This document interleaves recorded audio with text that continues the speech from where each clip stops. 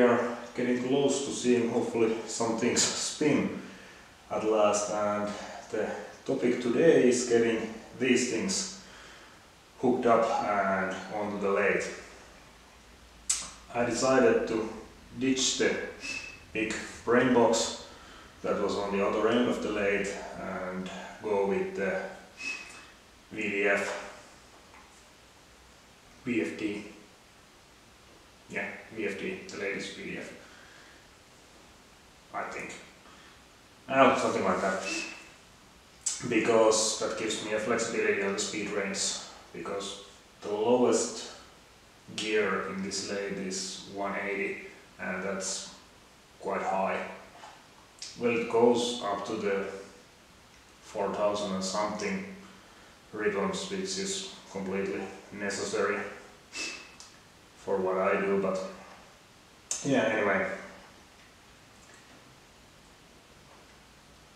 The first thing I need to do is, of course, hook this up and test that they work.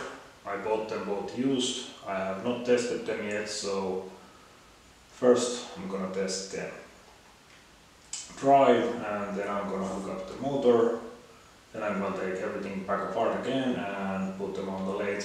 That is if they work. So I better start get going.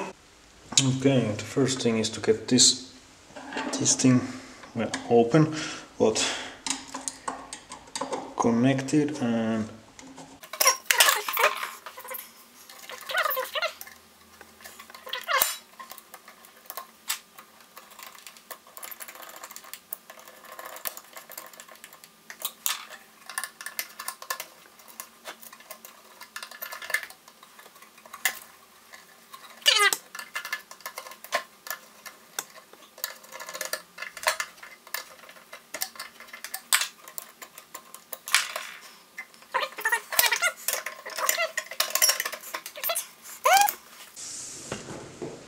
nothing left to do but try it goes on.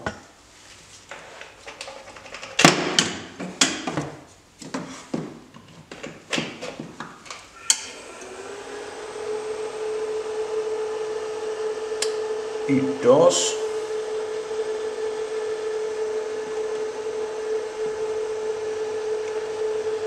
Okay, there is some actual test that needs to be performed says so in the manual and so now I have to get the manual out and see what I'm supposed to do.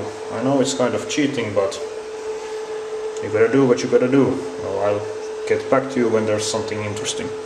Okay, turns out it goes like it always goes. I had the wrong manual so it took a bit of googling but now I got the motor hooked up. That was not the hard part. Hard part was to get it turning because the settings in there were whatever and because I didn't have manual, these, these things don't actually tell that much without the manual but now I have it and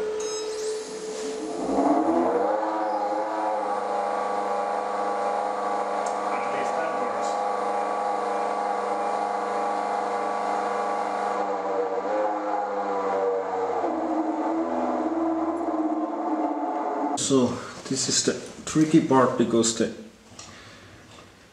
engine or motor is quite heavy and I can't fit my hoist in here. So but luckily the dolly which has wheels on it fits there and I can roll the motor right next to the mounting point and at least get the bolt started. And then I can use car jack or something like that to lift the motor upwards in the right position. Uh, this is not the original motor for, the, for this lathe. Uh, uh, the original is like 20 kilowatts, so right now I don't have enough power to run it, but in the future I hope I have. So this is temporary and that's why I haven't cleaned this or anything, I just tested that it works.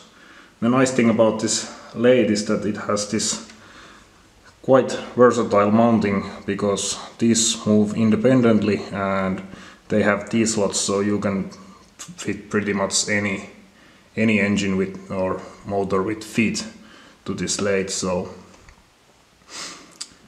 But there is there's not enough there's barely enough room right now to fit the motor in there so it's gonna be a tight squeeze so I probably can't get any decent shots of me installing it but that's the general idea.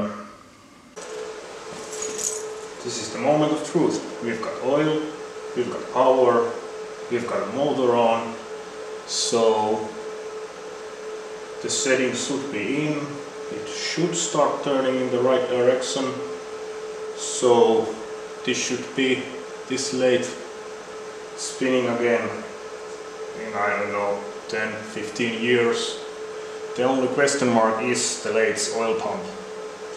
I don't know if it's good or not but we'll see soon enough.